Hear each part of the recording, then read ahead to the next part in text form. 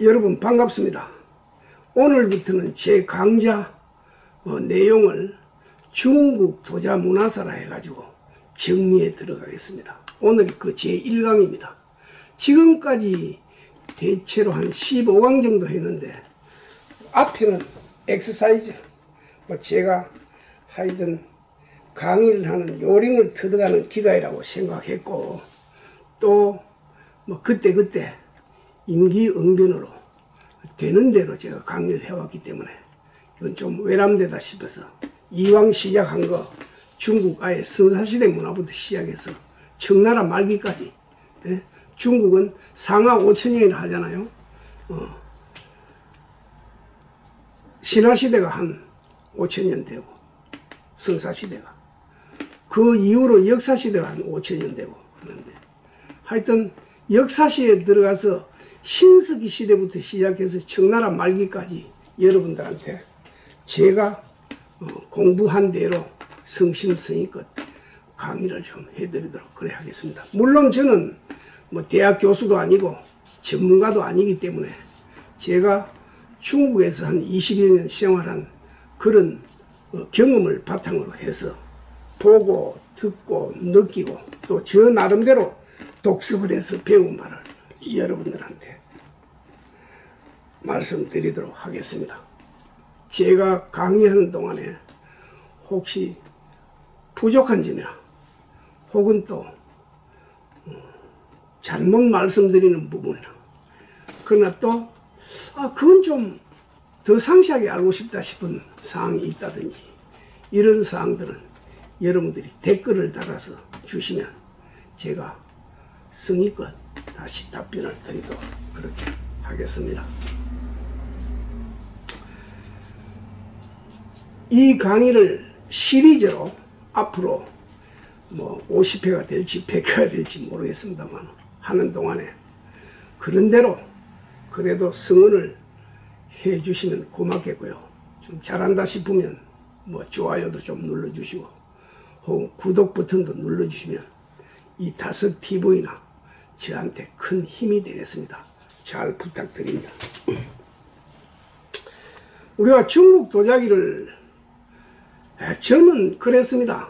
젊은 시절에 아, 무슨 책을 읽어야 될지 어떤 선생님 앞에 가서 강의를 좀 들어야 될는지 뭐 그 시절에 책도 없고 옳은 선생님도 없고 이러다 보니까 혼자서 많이 헤매고 했는데 그 희한하게 뭐 인연이 있을라 그랬는지 제가 중국 칭다오에서 공장을 한 25년간 경영하면서 중국 수립을 자주 하다 보니까 중국의 대단한 학자분들이나 또 박물관이나 미술관이나 뭐 또 그그 계통에 실력 있는 분들도 많이 만나고 또 원서도 읽게 되고 이러면서 저 나름대로 분석하고 배운 바를 여러분들한테 토로하고자 하는 겁니다.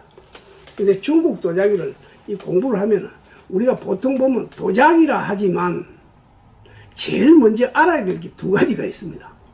중국의 역사 문화를 알아야 됩니다. 역사 문화. 역사 문화를 알아야 강의를 하는데도 그렇고 책을 보는데도 이렇게 쉽게 이해력이 빠릅니다. 그 다음에 지리 환경을 알아야 됩니다. 중국에는 34개 성급 도시가 있고 23개 성이 있습니다.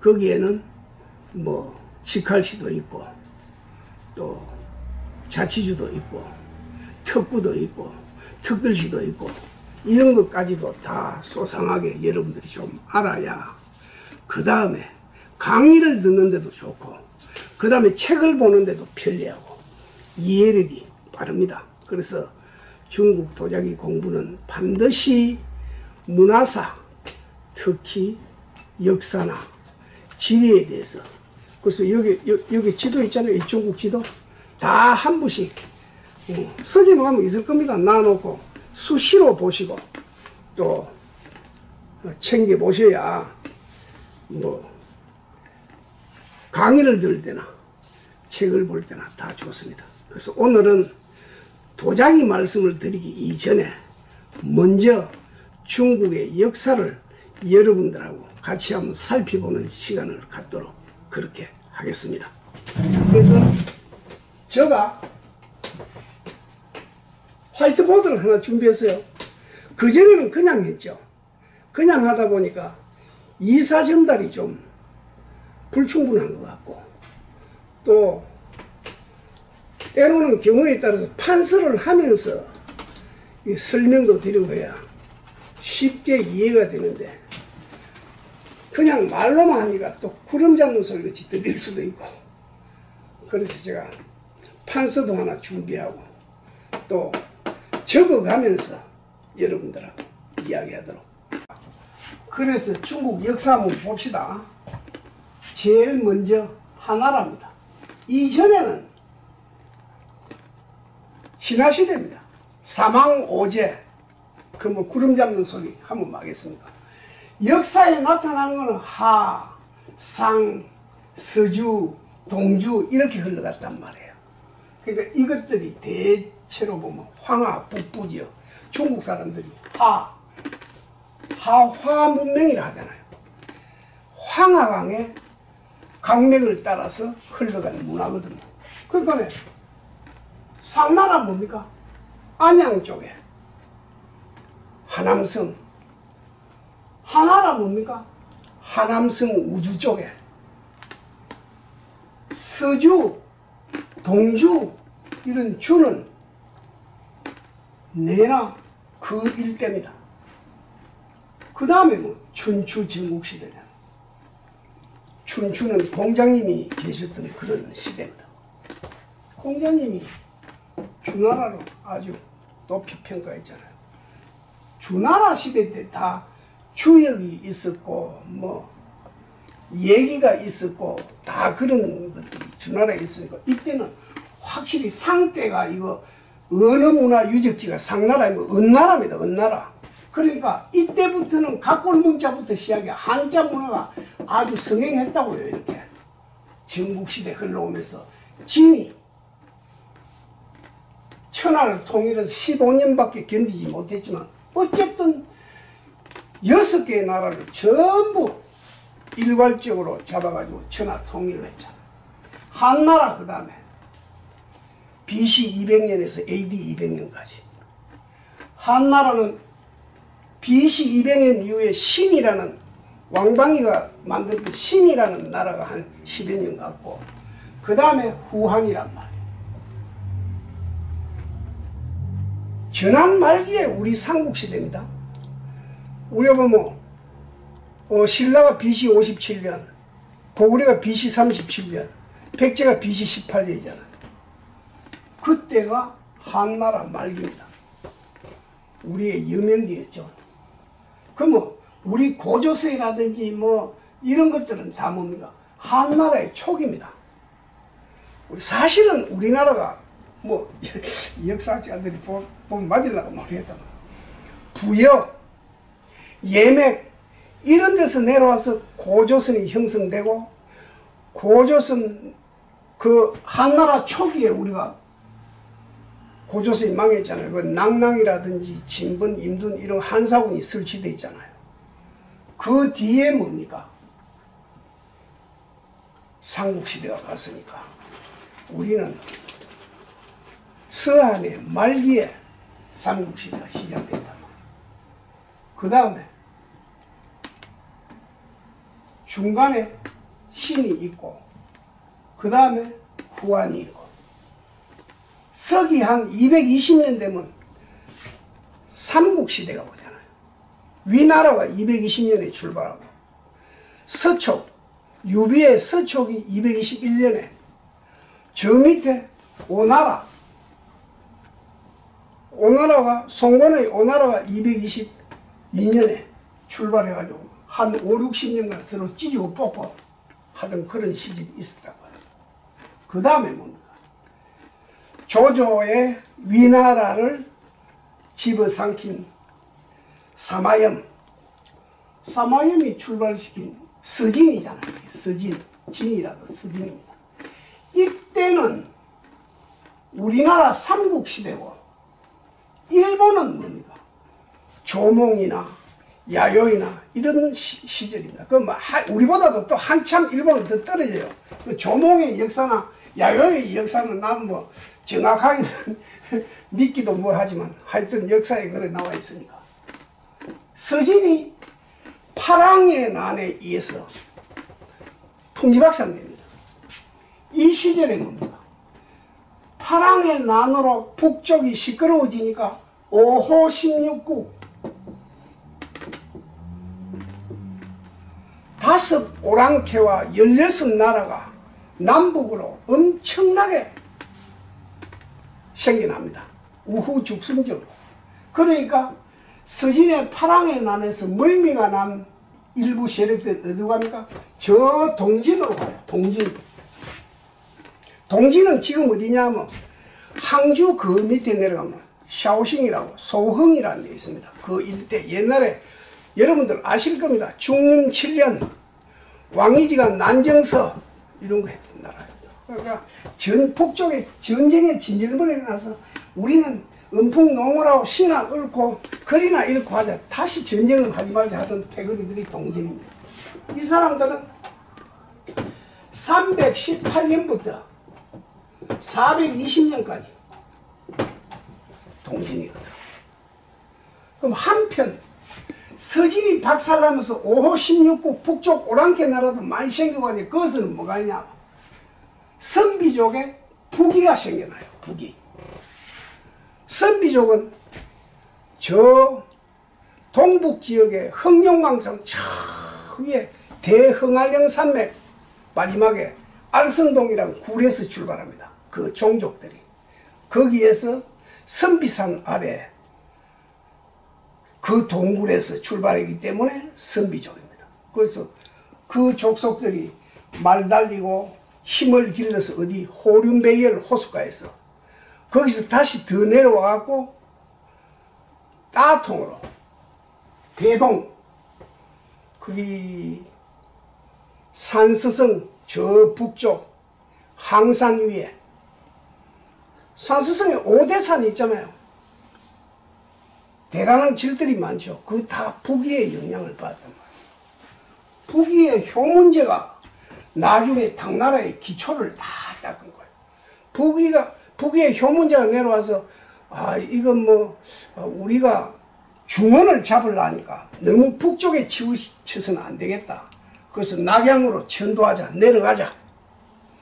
이래서 낙양에 가서 나라를 다시 건설을 할 때 나강의 모든 그 도시 정비, 도시 계획 그걸 전부 다 북위에서 했습니다. 선비족들이.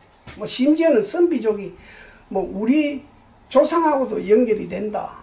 우리가 그렇잖아요. 뭐 예맥 옛날에 부여 예맥에서 내려와서 고조선이 되고 고조선에서 다시 내려와가지고 뭐 백제 고구려 신라 이렇게 뭐 이어졌는데 그 속에는 반드시 부여라든지 북위의 선비족의 일부가 같이 합류대가 있을 것이다. 그런 말이 있습니다. 맞는지는 모르겠지만 북위는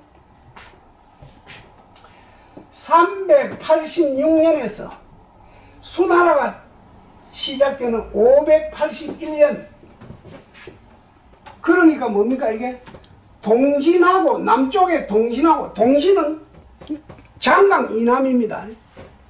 북위는 황하 중부입니다. 그러니까 동진하고 북위하고 겹치는 시기가 이게 위진남북조입니다. 위진남북조 그래야 된단 말이에요. 역사 강의하는 거 아니에요? 위진남북조 북위는 나중에 어떻게 되냐 서위 동위로 갈리가지고 나중에는 북주 북제로 갈라집니다. 그래서 결국 수나라한테 흡수되거든요. 수는 이렇게 위진남북조의 여러 소수민족들만 다 합해가지고 수나라가 581년에 천하 통일하잖아요. 그런데 수나라는 불행하게도 2대까지밖에 못 가. 뭐 한 30 몇 년간. 그러고는 618년에 당나라한테 흡수된단 말이에요. 당은 618년부터 시작해 907년까지 가요. 907년까지. 그 중간에 알록산에 난, 뭐, 홍건적에 난, 베레벨 난들이 많아요. 그 덕에 우리 고구려 유민 중에 고선지 장국이라든지, 또 뭐, 신라의 장보고라든지, 또 그, 아이고, 우리 학사, 뭐 또 있잖아요. 그, 저, 당나라에 출시하신 분들, 이런 분들이 당에서 활약을 많이 했지만, 907년 되면은 당이 결국 망하면서 5대 19 시대가 5대 19가 뭐예요? 다섯 대로 당이 망하고 난데 다섯 대로 쭉 내려가면서 주변에 10개의 나라가 생긴다. 사실은 11개 나라입니다. 5호 16국도 사실은 5호 16국이 아니라 내가 다 외우지는 못하겠는데 5호 21국입니다. 예? 5대 19. 5대 19. 5대 볼까요? 양, 당, 진, 한, 주. 당이 망하고 양, 당, 진, 한, 주로 내려. 주로 내려와서 어떻게? 이 5대, 5대가 뭡니까? 다 합해봐야 60년이 채 안 돼. 한 60년 되, 되나? 그러다가 후주에, 이, 이건 다 후자 붙습니다. 왜 이 앞에 5대 10, 5대 10국이나 5 16국이나 이런 시절에 혹은 또 이 앞에 전부 다 양나라, 당나라, 진나라, 한나라, 주나라가 다 있었단 말이에요. 그러니까 역사학자들이 후자를 붙여. 후량, 후당, 후진, 후한, 후주. 후주의 황제가 세종이잖아요. 우리나라 세종대왕 같은 세종. 성씨가 시입니다, 시. 이 시자에 뗄나무 시자. 뭐 여러분 도자기 공부하신 분들 시효라고 들어봤는가 모르겠습니다. 시효는 후주의 마지막 황제 세종이 자기 성을 따라서 성씨가 시라. 그래서 이, 이, 이 사람도 시, 세종도 도자기에 대해서 너무 관심이 많고 좋아하다고 자기가 직접 도공들하고 막 만들고 이래가지고 만들었다는 게 전설적인 이야기인데 실제 실물이 남아있는 게 없어요. 자, 그래서 후주의 마지막, 마지막 5대 19의 마지막 나라가 후주인데, 후주의 걸출한 장수 중에 조광윤이라는 사람이 있어. 후주의 세종이 조광윤을 북쪽 오랑캐를 무찔러라고 보내놨는데 이성계 위화도 회군하듯이 돌아와가지고 자기가 정권을 잡아요. 그게 960년입니다. 우리 역사에서 말하기를 북송이라 하죠. 조광조는 자기가 무력으로서 정권을 잡았기 때문에 혹시 자기 후손들한테도 나중에 무력에 의해서 문제가 생길까 싶어가지고 이 사람이 모든 장수들 무장 해제시키고 과거 과거 시대로 돌입합니다. 그러니까 문치주의로 나가는 거죠. 그래서 북송 때는 정의, 정오 같은 그런 대단한 유학자들이 걸출한 유학자들이 많이 생긴단 말이에요. 그게 결국 남송에까지 전통이 이어져서 남송이든 북송이든 다 같이 학문에 열중하는 선비들이 참 많았다고요. 문치주의를 하다 보니까 물론 어, 군사력은 좀 약하죠. 송나라는 남송과 북송이 있었는데 먼저 북송이죠. 북쪽에서 생긴 것이 북송이고 남쪽에서 어, 어, 일어난 것이 남송인데 960년에서 1267년 1271년이가 하여튼 북송 남송은 1297년까지. 그 북송이 마지막 황제가 흥종인데 그 뭐 여러분들 잘 아시겠지만은 북송은 황제가 아홉 분입니다. 제8대 황제 휘종이라고 아주 낭만군주죠.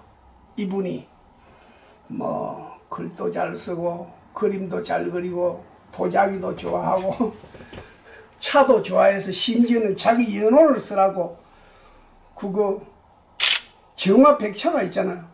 그 정화는 송나라 휘종이 1100년에서 1125년까지 25년간 제위를 했는데 다섯 개 연호를 썼어요. 그 중에 하나가 정화입니다.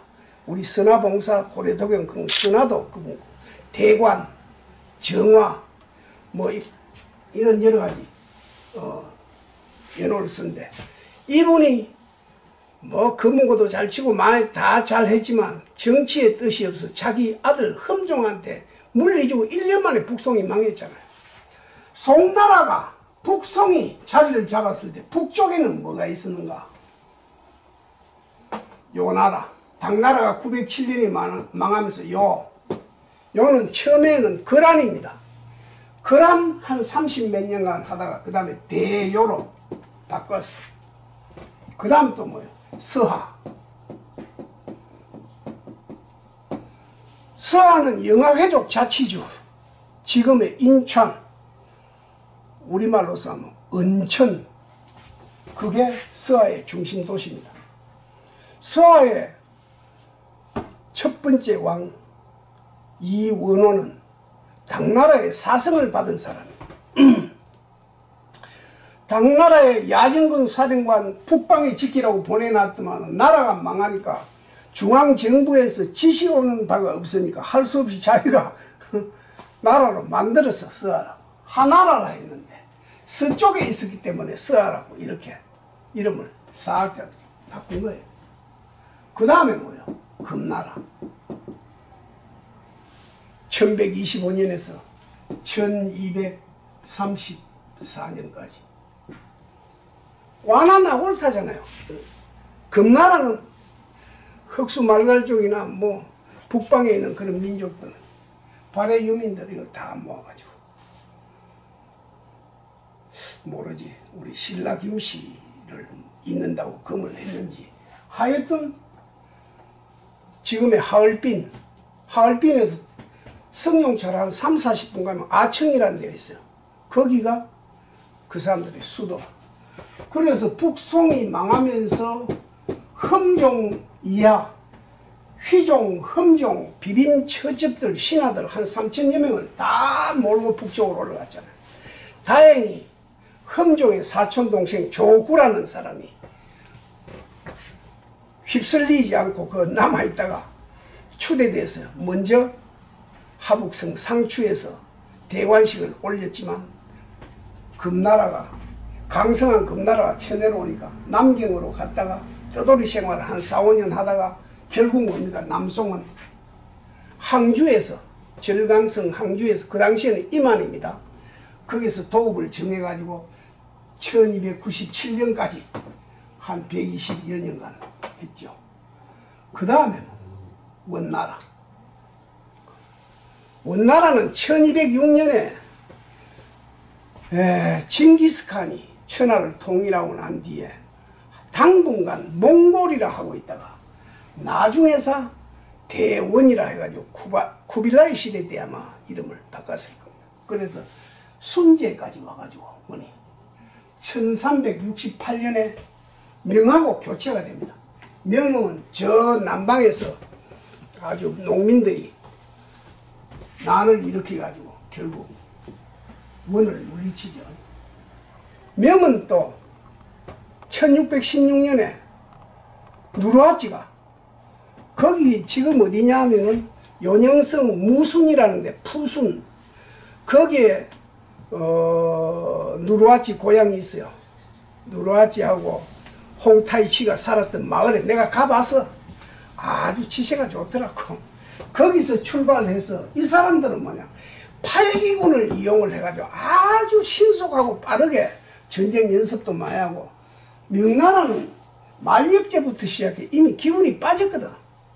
그 오삼리가 문을 열어줘가지고 1616년에 후금이라는 나라를 만들어가지고 자기네들끼리 있다가 1644년에 명을 무너뜨리고 청이 지금 말로 만주족이 중국 천지를 갖다 접수한다고. 그래서 1911년까지 손문희가 어, 정상적으로 중화정부를 손 만들기 이전까지 청이 존속하잖아요. 이렇게 흘러왔는데 여러분들 생각에 왜 이렇게 도자기에 대한 이야기를 하면서 역사적인 이야기, 이, 이, 런 역사를 많이 얽고 이렇게 하는가 할지 모르겠으나 이거 안 하면 안 돼요. 필수적입니다. 필수. 첫째, 중국 역사. 둘째, 중국, 중국 지리문화를 알아야 됩니다. 지리문화. 그러니까 네. 무슨 강의를 듣든 책을 보든 자기 나름대로 독서를 하든 아 이게 어느 시대 그럼 언제 어떻게 그때 우리 한반도에서는 어떤 일이 일어나고 있고 어떤 시기가 왔고 우리가 송나라 때 고려잖아요. 응? 숭하 4년.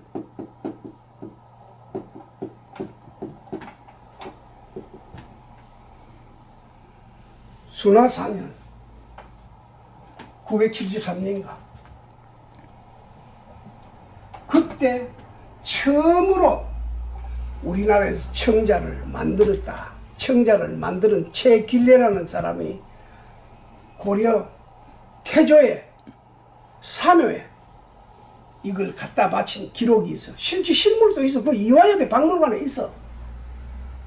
그러나 사실 저는 그보다 훨씬 빨리 보죠. 대충 우리가 10세기에 출발을 보는데 저는 9세기로 보죠. 그 뭐 학자들은 인정을 하는지 안 하는지 모르겠지만 대체로 해상왕 장보고가 조국으로 돌아설 때 828년부터 월주 도공들도 데리고 오고 상강 무역하면서 스타트 했지 않았는가 추정입니다. 증거가 없으니까 내가 이야기할 수는 없지만 이때는 우리가 송나라고 당나라 때는 뭡니까? 삼국시대 나중에 600년경에 백제가 망하고 몇 년 뒤에 고구려가 망하고 신라가 삼국을 통일하잖아요. 안동 도부 당나라에서 만들어냈던 걸 물리치고 정상적으로 정상적인 국가가 신라가 된단 말이에요. 그게 대체로 당나라 때 다 이러는 거예요. 삼국이 삼국 중에 백제 고구려가 당나라 초기에 망하고 그 다음에 발해가 흥했다가 또 망하고 발해, 발해는 요나라 때 망했거든. 907년 이후에. 물론 당나라가 망하고 난뒤 한 60년 뒤엔가 얼마 이렇게 만들어졌기 때문에 그렇긴 하지만 이제 그런 상관관계를. 그 다음에 일본은 어떻게 되는 이런 거를 종합적으로 알아야 도자기의 역사를 공부하고 도자기를 공부하는데 아주 기본이 된다 싶어서 내가 오늘 여러분한테 이런 장황한 설명을 드리는 거니까 어, 이해하시고 또 집에서도 수시로 이 역사에 대한 거를 시대적인 배경 그때 최소한도 동양 삼국은 어떻게 움직이고 어떤 그게 되는가. 근데 여기에 보면 하상서주 춘추 전국시대 진, 한 이런 시대 때는 보세요 이게, 이, 이게 다 뭡니까 이거는 황하 문명입니다 우리가 보면 모든 문명이 뭡니까? 강으로부터 출발하잖아요. 북쪽은 황하거든요. 저 칭하의 성에서부터 출발해가지고 감숙성으로 와서 그 다음에 인천으로 올라가고 영하회족 자치로 가고 뒤끝자로 쭉 내려옵니다. 호구폭포 그 산서성 섬서성을 가르면서 쭉 내려와 산문엽에서 또 오른쪽으로 낙양 오른쪽으로 개봉, 오른쪽으로 허저, 오른쪽으로 제남 더 내려가면 뭡니까? 바레마이거든요. 이렇게 북 북쪽에 황하 문명이 이렇게 쭉 형성돼가 내려오는데 다 걸쳐져가 있는 나라들입니다 이게 우리나라도 보면 뭐 북쪽에 대동강을 중심으로 해서 북쪽 문명이 이루어지고 남쪽에 낙동강을 중심으로 해서 물론 뭐 사대강이 이래 있긴 하지만 가- 사대강마다 다 나름대로 문물이나 문화가 있었잖아요 그와 마찬가지거든 뭐 옛날에 보면 다 메소포타미아 문명, 인디스 문명 그 다 강줄기를 따라서 있었던 거 아닙니까? 마찬가지란 말이야. 그 이게 중국이 뭐 하화라 하잖아. 하화. 자기네들은 하화 문명을 하화 문명에 대한 자부심을 가진다고. 특히 한나라, 당나라는 열린 사회고 세계를 지배했던 사회이기 때문에 이 사람들이 대단한 자부심을 가져. 사실은 중국 역사에도 보면 오랑캐들이 오랑캐들이 정권을 잡은 역사가 여기 많아요. 어? 5대 10국 에 10국 중에서도 그런 게 있고 북이도 그렇고 여기 청나라도 마찬가지고 금나라도 그렇고 요나라도 그렇고 다 북쪽 오랑캐잖아요. 그래서 중국의 역사는 호한의 대립이라고 보면 됩니다. 오랑캐 호자. 중국 사람들은 우리가 한족이다 이러잖아. 한족. 한나라 이름을 들미면서 우리가 한족이다 그러잖아요. 우리가 고조선을 들미면서 우리가 조선이었습니다. 그런 것과 마찬가지로 호안의 대립이라. 그러니까 항상 북쪽 오랑캐하고 여 황하강 문명, 하와 문명하고 치열한 경쟁이고 싸움이었거든요. 음. 그 그것 때문에 만리장성도 생기고 뭐도 생기고 뭐 왕소군의 스토리도 있고 그런 게 많잖아요. 그렇게 온 거고. 여기 동진이나 이런 것들은 보면 다 남쪽입니다. 남쪽은 보면 별로 형성된 게 나라가 별로 없죠.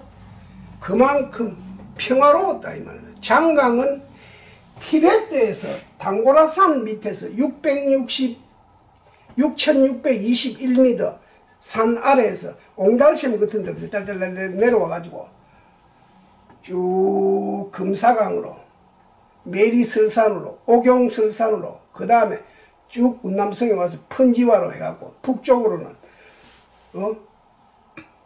사천성 쪽으로 오면 노천 그 다음 뭐 사천 그 다음 뭐 중경 장강 삼역 쭉 내려오면 뭡니까 형주 그 다음에 적벽 그 다음에 요새 코로나 많은 무안 황석 파양호 여산 이래가지고 남경으로 해갖고 저쪽에 강소성으로 해서 저 상해 앞바다로 쭉 한 줄기 빠지고 남쪽으로는 뭡니까 오진으로 동양으로 해갖고 쭉 그 전단강 말하자면 저 항주 앞 항주 앞맛 앞바다로 빠졌잖아요. 그런 식으로 이루어지듯이 북쪽의 황하 문명을 따라서 이렇게 왔단 말이에요. 남쪽은 뭐요? 남쪽은 장강. 장강은 중국의 11개 성시를 관통하면서 이수로 따지면 16,000리쯤 됩니다. 북쪽의 황하는 9개 성시를 관통하면서 대충 만한 3, 4천리 정도로 이어왔단 말이에요. 그 속에 모든 중국의 문화가 이루어져 왔기 때문에 물론 거기서 토기, 독이, 자기를 이렇게 이루어졌지만 시발은 강줄기를 따라서 왔기 때문에 반드시 이 중국의 역사, 그 다음에 지리, 이거에 대한 공부를 여러분들이 기본적으로 먼저 해놓고 우리가 수학 공부의 기초가 뭡니까? 구구단부터 외우잖아요. 응?